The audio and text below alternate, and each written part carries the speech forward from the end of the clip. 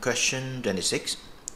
Z is a gaseous hydrocarbon which has a density of 3.5 times 10 power negative 3 gram per cm cube under room condition.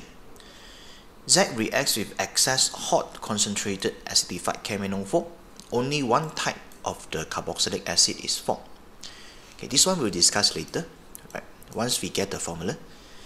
Um, so what is the name of this uh, compound Z?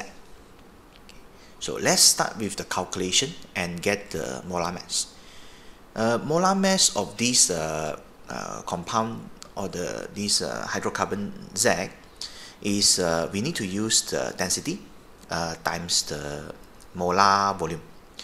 Because this one is gas right? So gas we must use the molar volume. Um, so 3.5 times 10 power negative 3 gram per cm cube times 24,000 cm cube per mole. So therefore we will get uh, the molar mass in gram per mole. So it's 84 gram per mole. Okay, this is the molar mass of the gas or the hydrocarbon Z.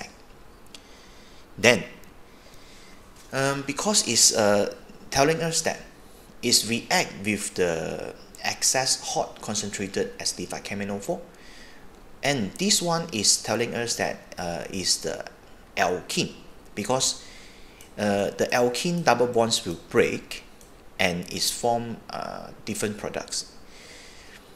So we need to use the general formula of alkene which is the CnH2n to get the uh, this uh, carbon number.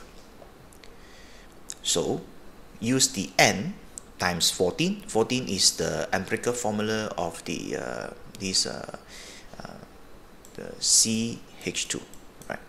So the empirical formula for this uh, alkene so CH2 uh, so therefore n will get 6 so means the carbon number is 6 and the for molecular formula now is C6H chart.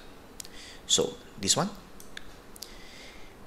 and this one is still not enough. Uh, we need to know the name. Ah, so for the second statement Z react with excess hot concentrated acidified KMnO4 means it's telling you the CC bonds break. And only form one type of carboxylic acid. Uh, is telling us that it must be hex-3-ene why? Because hex 3 in the CC double bond is between the third carbon and fourth carbon and this um, alkene is symmetrical. So means when the CC double bonds break after it's uh, oxidized by this uh, KMnO4 so it will form the one only one carboxylic acid which is the propanoic acid. Okay so these three oh, sorry these two parts will form the same carboxylic acid which is propanoic acid. Therefore answer must be hex-3-ene that's all. Thank you